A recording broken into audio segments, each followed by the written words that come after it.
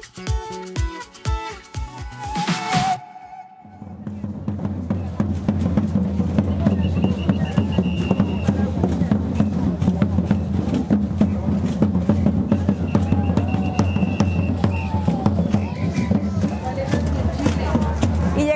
la Basílica de Guadalupe y así se vive el fervor guadalupano desde parte de noviembre y prácticamente los primeros días de diciembre hasta el 12 de diciembre, el día que se festeja la guadalupana. Llegan cientos de peregrinaciones, a veces son eh, mismas parroquias, empresas, familias enteras que vienen por supuesto a agradecer a nuestra Virgencita de Guadalupe y llegan hasta este hermoso recinto del que vamos a platicarles un poquito más adelante.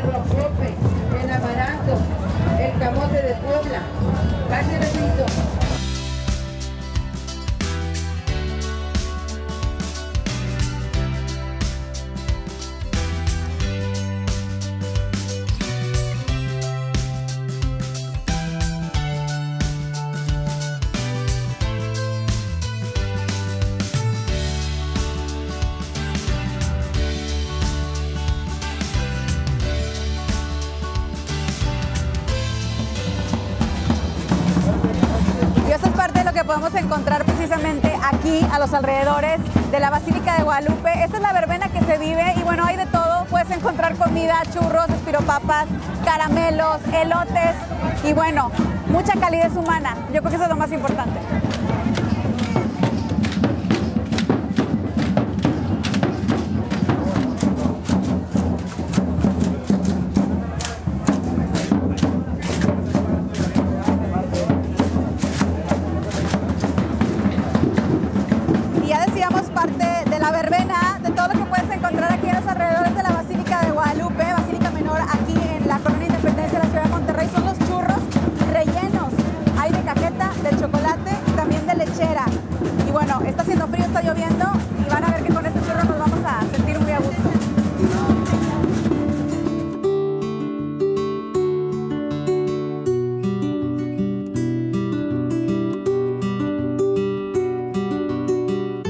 Estamos aquí con la señora Silvia Román, que este año viene a pedir. a pedir por toda mi familia, por mi mamá que está enferma em, y, y por, toda- por todas las personas.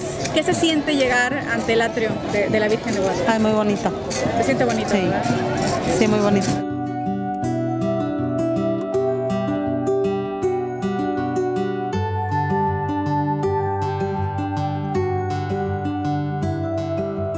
Nombre? Karina Yasmin.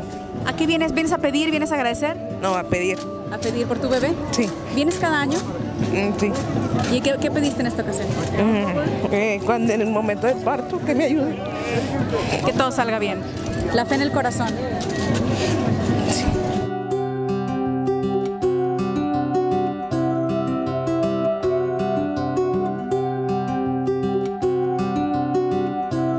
Estamos aquí con Manuel y Jennifer, muy chavos, pero ya matlachines. ¿De dónde vienen? ¿Desde cuándo matlachines? A ver, De San Nicolás. San Nicolás. San Nicolás. ¿Y desde cuándo como matlachines? Tengo cinco años. Cinco años. ¿Y hoy desde, desde, desde cuántos kilómetros hicieron? A ver, platíquenme. Desde la Alameda, no sé cuántos kilómetros sea. Desde la Alameda. Es un trayecto bastante fuerte y no importa que esté lloviendo. No. La fe es lo más importante. Sí. Felicidades, chavos. Gracias.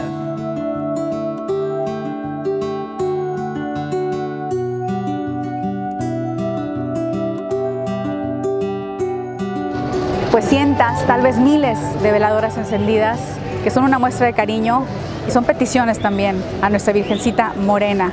Muchos corazones encendidos con mucha fe, por supuesto, en esta preciosa Basílica de Guadalupe que inició su construcción en el año de 1978 y abrió sus puertas un 11 de diciembre de 1982. Y desde entonces ha recibido a millones de feligreses y por supuesto dos visitas del Papa Juan Pablo II aquí en nuestra ciudad.